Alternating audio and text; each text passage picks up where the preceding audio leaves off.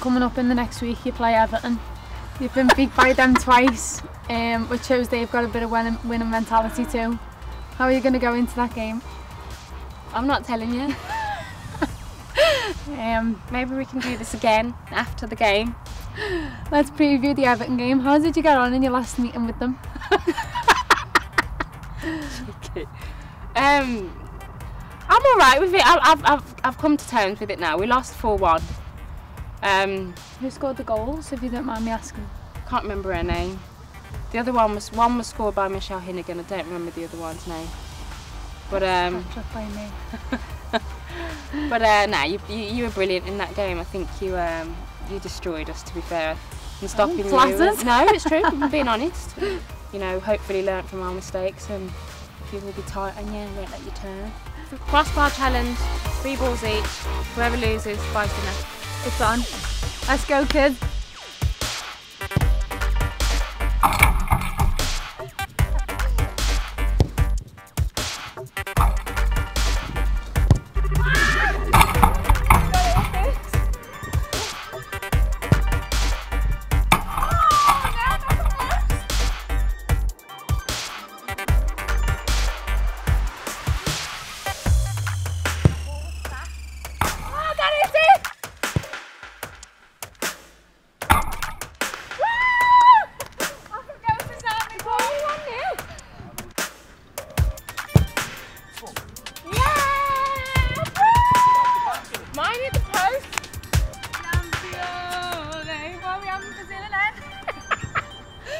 I'm done.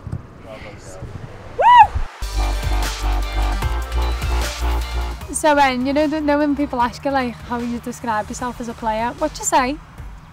Um, I think I'd probably describe myself by saying I'm really direct. Um, I like to just go for goal if I can, or put other people in goal, uh, onto goal, or um, I think I've got good vision. Think I'd like to think I've got good vision. I think a lot of people think I'm just a fast player, but I think I'm, you know, quite technical as well, and I take pride in keeping the ball and, you know, things that perhaps people don't think I do. Yeah, yeah. Didn't want to essay.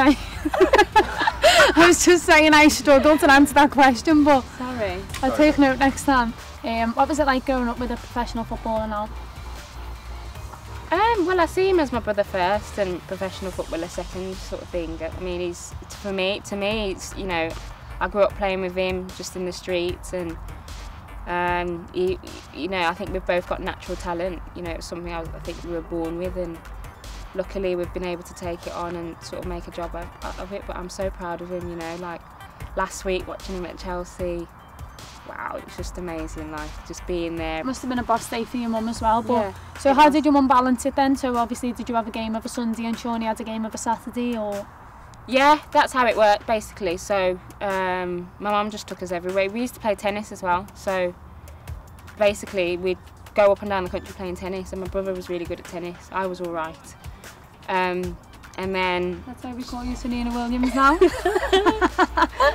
and then um, we'd go. We'd, we'd yeah, she'd take us to games, and I played on a Saturday, I think.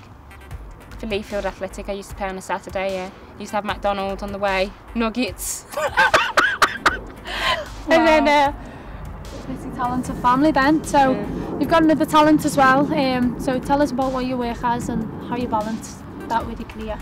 Well, I work as a trainee solicitor. Um, I studied law for three years in, at Brunel in London. Um, and then I always knew I wanted to go into sports and try and combine it with, um, basically go into sports law and try and combine it with football and um, that's that's the aim really. I'm working at an it's an entertainment law firm called Lee and Thompson, and um, you know we basically represent celebrities, artists, musicians.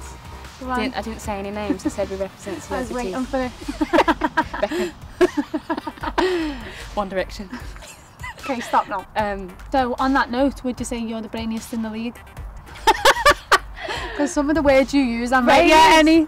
I don't have a clue see, I'm going to put this to bed now because everyone comes on interviews. All the England players come on interviews and say, "Who's the Who's the ditziest player?" My name always comes up. No, you are a dope, but you obviously are clever if you've got these qualifications No, and I you're think I am this law thing no, I, London. I, I think I am clever in what I'm passionate about. or in law, I think I, I'm clever. But when it comes to th- things I don't have a clue about, then No, just everyday life then, you're just a bit Yeah, not yeah. with it. yeah. So on women's football, do you get a chance to see much of the men, the men's team? Like, did they integrate it much, or is it kind of ladies and the men? Um, it can be at times. It can be very separate, and I do wonder sometimes what they think we're going to do. Like, well, whether they think we're going to eat the men. Or, do you know what I mean? Like, you, you do photo shoots and you meet the guys, and they're actually, you know, they actually. They, they look at us, I think, sometimes like sisters, and because we're doing the same thing, you know, sometimes they're a bit guarded, but um, yeah, you know, we, we, we get to meet them sometimes, and but it is it is quite separate, obviously, because they, they train in the day and we train at night.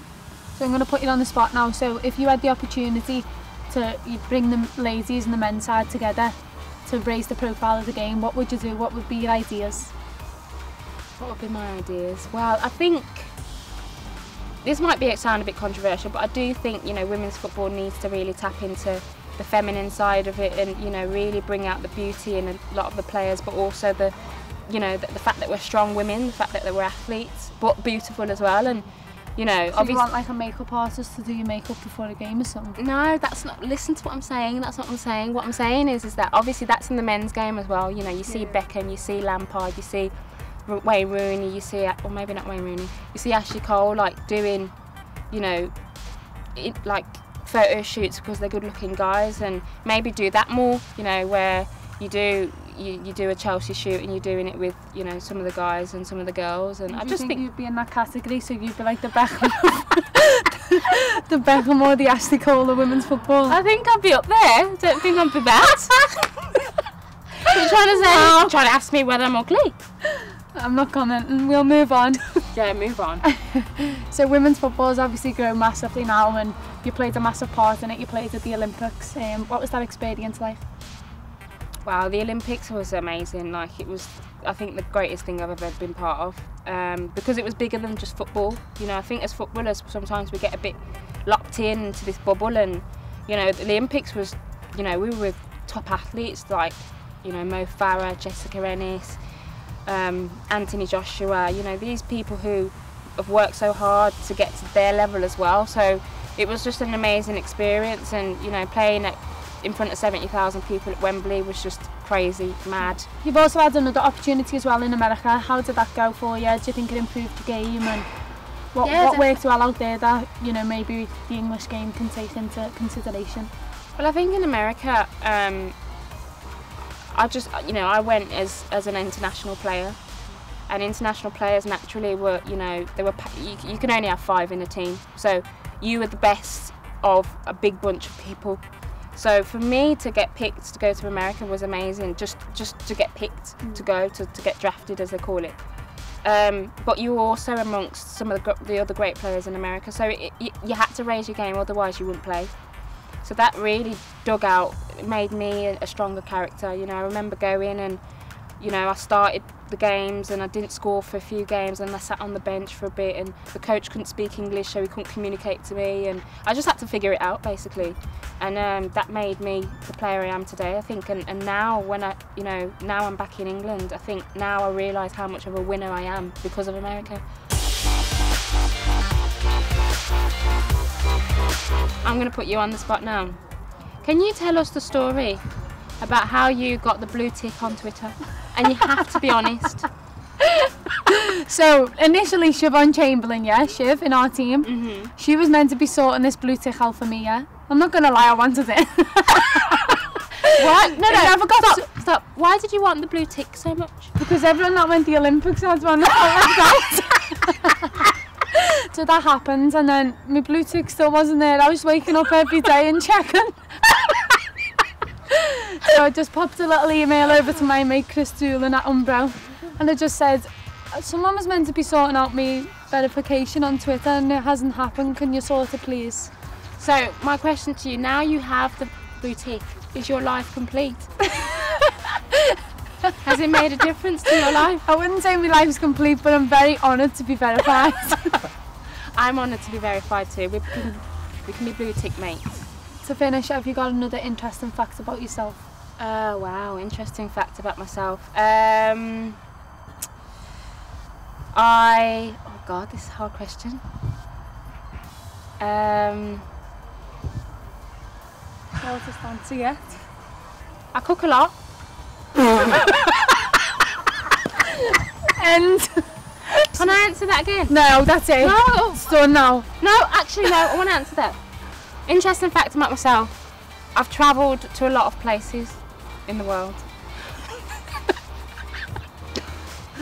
Right, I'm trying not to laugh here, but Eni's interesting fact was she travelled to a lot of places in the world. And I hope you really enjoyed our chat today and hope you found out a lot more interesting things about Annie. Bye for now.